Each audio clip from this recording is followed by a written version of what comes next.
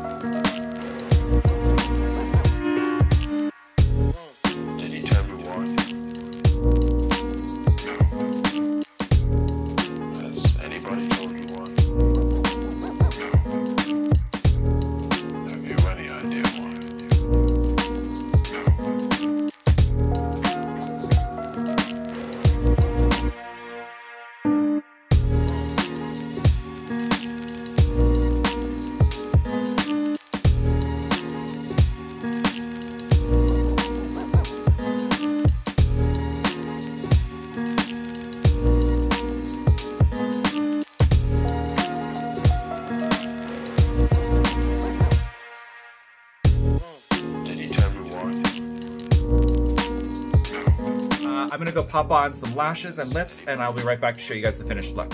I have um, finished up my lips with Runway Rogue's new Velvet Glam Liquid Lipstick. This is this.